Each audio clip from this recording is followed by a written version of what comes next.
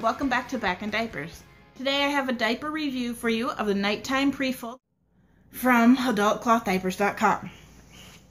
First, let's take a look at it, all folded up. Here it is, all washed and ready to go.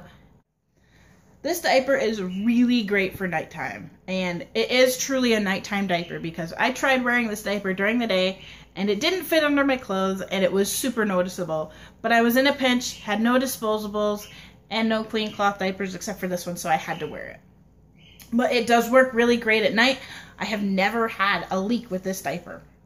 And that is because I pair it with a PUL diaper cover.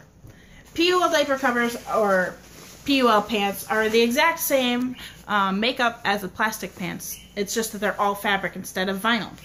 PUL has a uh, waterproof layer on one side of the fabric and it's nice soft knit on the other side.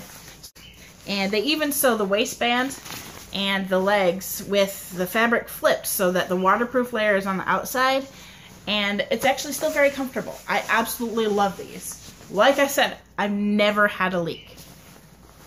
It is a hard diaper to put on by yourself, so you may want to get help from your significant other or whoever ends up changing your diaper because it's really tough to get a nice tight fit um, by yourself. I can do it, but it takes a lot of work and finagling, and I end up repinning several times. So it's just a lot easier if I have help with it.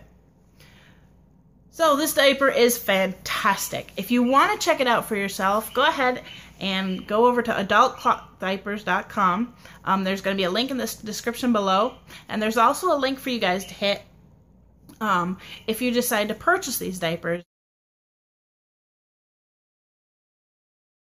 So what do you think about pre-fold diapers? Um, are they a total no-go for you or do you absolutely love them?